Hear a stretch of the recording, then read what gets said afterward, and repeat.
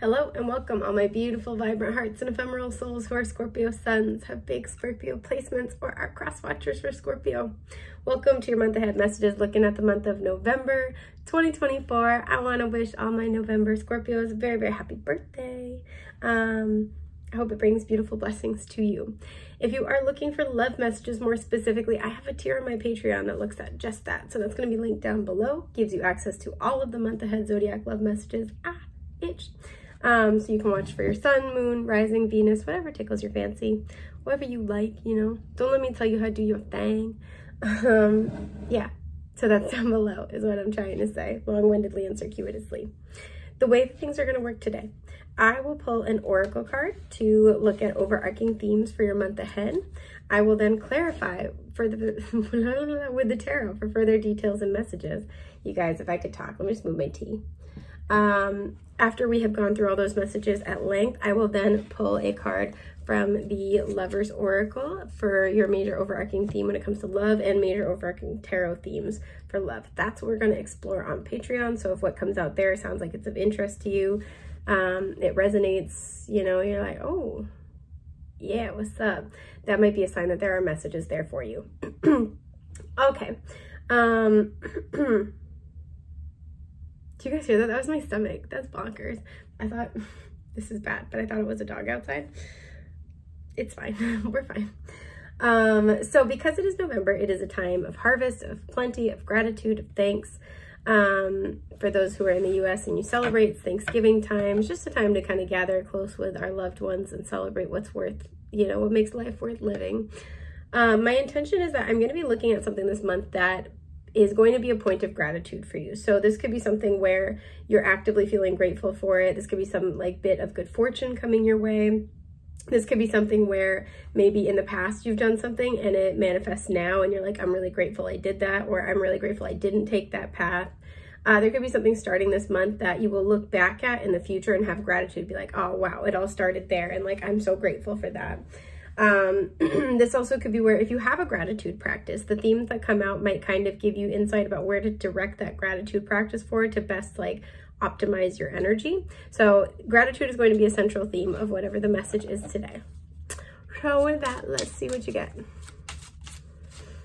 No, it's not that one. It is this one though. What was the one it wasn't?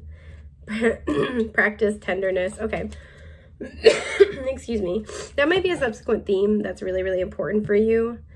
Uh, I'm getting this energy of taking a gentle hand. So there, excuse me, there could be something, excuse me, my allergies and asthma are really bad today there could be something you took a gentle hand with and it um, it changed the situation. That's card 32, so that reduces to a five. Five is the number of challenges and changes. There could be a challenge in your life again. You took a gentle hand, like you uh, incorporated tenderness into your approach, and I feel like that actually changed the dynamic. It changed the energy in a very like positive way.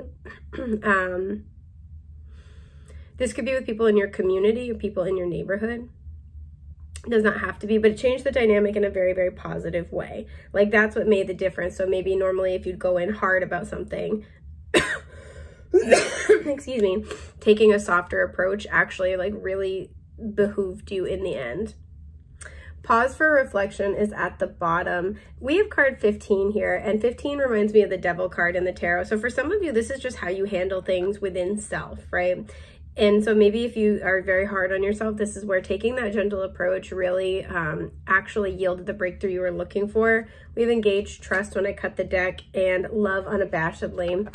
So some of you, this is like, um, this is like taking a softer approach with somebody else. Um, this is this is taking a softer approach and again, a more loving approach it feels like either in your self-love um, or with another, excuse me, for some, you have somebody who has been extending the hand of love and it's like you're softening to them a little bit. And this is something that there's actually bringing a lot of gratitude, a lot of like an abundant energy into your life. So let's get more details. Okay, we have embrace stillness. You've had a lot of lotuses show up on your imagery with card seven here. Um, it feels like there is there has been again this pause this gentleness being in your feminine energy where you're receptive you're nurturing you're at rest um, that's actually yielded quite a lot. Seven is a number of spiritual reflection, but at a very internalized level. Um, it feels like this has been the path of enlightenment with just like the path ahead and the multiple lotuses. This has been the path of enlightenment. This is yielding a lot of insight. Um, it's just like taking this softer energy again. A lot of you guys, you could be very powerful people. We know how Scorpio can be powerful people. Um, you're not afraid to take action. You're not afraid to, um, you know, it's that Mars energy. So you're not afraid to burn something down if it's not working. It feels like you took a different approach here. And there's kind of this sense of, I'm going to, I'm going to let things kind of blossom in their own right. I'm going to let things kind of be what they are show themselves to be. Um, and there's that engaged trust energy as well. And again, like love unabashedly. It feels like, like again, meeting yourself or others with love and compassion. Others may have met you with love or compassion. And that's actually what's making the difference, right? Something is moving in its own order, in its own pacing, and not trying to, 555 on the timer, not trying to judge it or push it in a certain direction. These are big changes that I feel like are coming as a result. Yep. Ace of Swords. okay. Two of Cups. Yeah, this is a relationship. I don't like to like jump to that immediately, but you have love unabashedly in the Two of Cups. Like, come, come on. Four of Cups. Oh, and the world. I really like this. Okay. Five of Wands in reverse at the bottom. So a key theme in this has been to let go of chaos, right? We think about the Five of Wands as outside influence, which it usually is. Um, we have hummingbirds very significantly, by the way, because they're showing up on two of these cards. It was on the um, Embrace Tenderness card. We also have blue jays and we have monarch butterflies, in case any of that's significant. Um, but the Five of Wands can also just sort of indicate, especially when it's reversed, more like chaotic energy within self. There could just be a lot going on. um, it feels like you might be in a period of pause or you have been in a period of pause when it comes to somebody very special. This is somebody that you love or that you have very deep feelings for. This is somebody that you have a soul bond with. Now, kiss. Um, you have a soul bond with. This is somebody who you may have rejected them in the past. They could have rejected you with the Four of Cups. Um, you guys could have been friends or could be friends and wondering if there's something more here. And I feel like there's like an energy here of not pushing things, right? Embracing the timing and the cycles. So what's happening in November that you can feel grateful for, there is truth coming through, there's understanding, right? I think it's always really interesting in this deck that the yarrow is growing through a barbed wire fence. So there's a sense here of even through difficulty, even through challenge, um, you may have just decided not to react to that. Again, I feel like the lesson for you guys was with the Five of Wands reverse, possibly to not listen to other people, but just to not engage with chaotic energy, whether it's within self or externally, the moon, and to follow your intuition. Look at how we have, again, the cycles projected here, or not projected, depicted. There we go. I knew I'd get there eventually. I'm like, wait for it. Um, there's something here about trusting the timing and the cycle. So you even could have, like, let's say this is somebody that's very important to you. You could have had people in your life be like, oh, you know, screw them, like, leave them behind, or like, they don't, you know, it's never going to happen. And you're like, no, there's something here, just because that moon energy is very intuitive.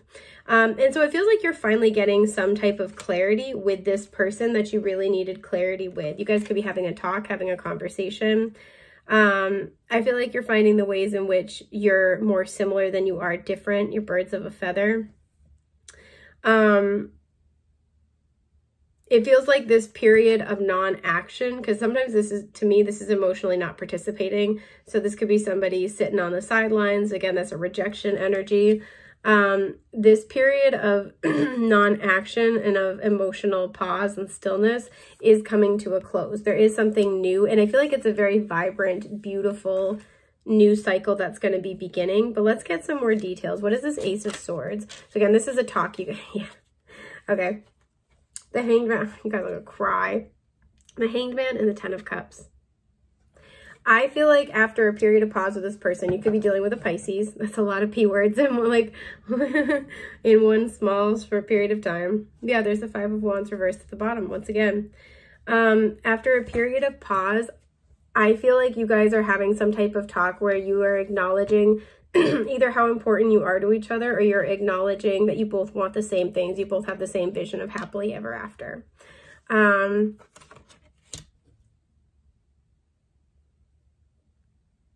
it feels like this person could be telling you how happy that you make them. Again, you could have the same like vision for the future it feels like with this path imagery, like this conversation is going to kind of open up this path of like, okay, I see what it's like this. I feel like the major gratitude point is I see why everything unfolded the way it did. Everything has purpose. Everything kind of comes together in universal and divine order, right? So this conversation is really going to be shedding light on this, right? Um, and for some, it might not be like a direct conversation. It's just something you kind of feel, you realize. But for many, I feel like this is a direct conversation you and this person are having. Um, this person could be telling you and or showing you how important that you are. With the Ten of Cups, you could be introducing them to your family. They could be introducing you to their family, especially with the holidays coming up. But it's like uh, some of you could be talking about like a home together. But it's kind of like this energy of by waiting for this person to be ready, it's it's not only was it not only was it a point of growth but it feels like it's kind of like this recognition right? This realization of like oh this is actually everything i've ever wanted right? Um and maybe this person needed to realize that. Maybe this person needed the time. It's like you guys are both the 10 of cups for each other. And there's the sense of like there's so much potential here. This is so beautiful and so i feel like there's a sense of gratitude for that process what is the four of cups about I saw the Wheel of Fortune. So again, there's timing that was really important. The moon showing up again. So you may not have known what's going on with this person and ended up feeling really rejected. Um, vice versa as well. Like this could be where you weren't really sure about what was going on. Um, there could be a little bit of mirroring, a little back and forth, but there's a sense here of like having to wait for the right timing. Five of Pentacles in reverse. The Five of Pentacles is either, you know, emotional or material poverty. So somebody could have been working on their finances and that could have been a big issue. Um, excuse me, somebody could have just kind of felt like they weren't good enough, not really believed in the power of like the love that's going on here. It's like not really believing in the power of this. And so it's like, why even bother, right? They didn't get too excited about it with the Four of Cups because they're like, eh, you know, what's going on. It's coming out reverse, meaning this person's coming out of that energy. They may have needed more time to kind of like process. I have an itch on my leg, I'm sorry, to kind of process to like deal with some old issues. But it feels like they're releasing that. Yeah, the Two of Pentacles at the bottom, they could have also had other other responsibilities like family responsibilities, work responsibilities that were kind of like making it so they were sort of checked out. They had other, you know, other things that they had to manage. So again, this is like this was a uh, an exercise in patience and timing. So the 2 of cups in the world together. I want to kind of clarify this. The 4 of wands, you guys. That's so beautiful. I love it and the Ten of Swords. I want to pull you in more, but I don't want to look at it yet. This feels like you may not have known how this was going to go. I'm picking up almost this energy of like, this could be, you know, two of cups, four of wands. This could be my person. This could be my future spouse, right? This could be, this could be it. This could be like my, my counterpart type energy, or this could break my heart. Um, this person may have been healing from heartbreak this person may have been healing from somebody they thought was their counterpart and they they were incorrect and they may have just been like really really not trusting their judgment. Um but it feels like there's a sense of somebody here is waiting for the other shoe to drop. Because again tarot can go both ways so you may have been in this energy as well and you're kind of coming out of this. Um but because you got embraced stillness, I do feel like this is probably the other person you were dealing with, right? This is the thing you're grateful for is that you embraced stillness or you're embracing stillness. Um, it, yeah, there's like an energy with this version of the Ten of Swords of waiting for the other shoe to drop, waiting for the worst to happen. And some of you guys, it's like that's what's coming to a close. There's a sense of like, I can breathe, I can exhale, I'm comfortable with this person. This person could be showing you or, um, demonstrating to you in some kind of way that they see you as part of like their family they see you as a counterpart there's a lot of energy here of home and like marriage um, or like you know serious partnership so this person could be trying to go out of their way to demonstrate that to you um You could be going to their home for the first time. Again, you could be like meeting each other's families. There's something that's very significant. We have the Knight of Wands in reverse. I feel like I feel like somebody here was afraid this was not going to move forward, and there's kind of that like, okay, it is. Yeah, Justice at the bottom. There's a huge energy here of marriage. um, so I feel like what you guys are feeling grateful for in the month ahead is that everything worked out the way it was supposed to. It feels like your patience is being rewarded. Um, you know, if the if it's if it was you who was struggling through, through some challenging emotions, it feels like you're coming out the other side and this person that you're, you know, you're connected to or you will soon be connecting with at a deeper level um, was patient with you. I want to kind of just get some like cards sort of round this out. Ace of Wands in reverse. Okay. The Four of Pentacles. And the Wheel of Fortune. Yeah, it was this thing where it was just a timing issue. Seven of Cups. I feel like somebody just had a lot to deal with emotionally and there was a lot to sort through and get clarity on. And this is very likely why you weren't seeing the same level of excitement and passion. They weren't opening up to you. It may not have been reciprocal. You could have gotten shot down or again, vice versa. Like if you're in this energy excuse my burp, there just had to be a cycle that closed, right? There had to be a cycle that ended. Things had to move in their own timing. And this feels a lot like it's about emotional renewal. There's a card getting my attention. The High Priestess in reverse. And I feel like you guys trusted your intuition. You trusted that divine feminine energy and you waited and you paused.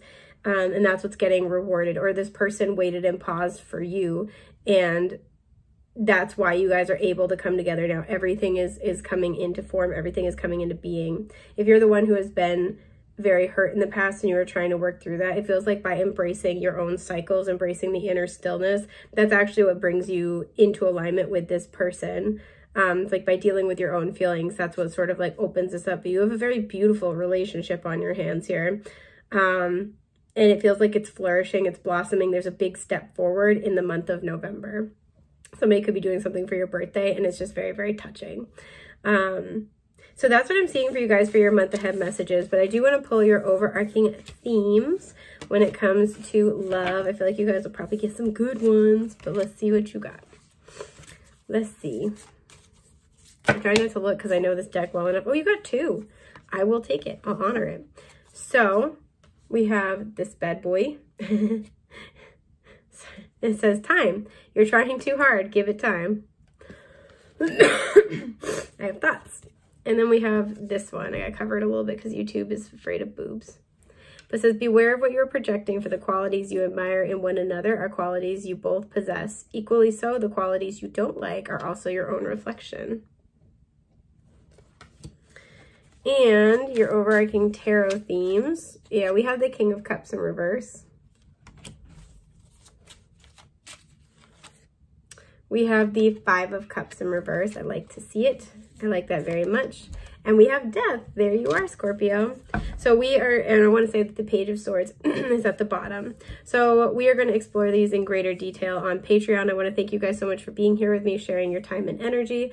It's a pleasure and a joy as always, and I will see you soon. Take care. Bye.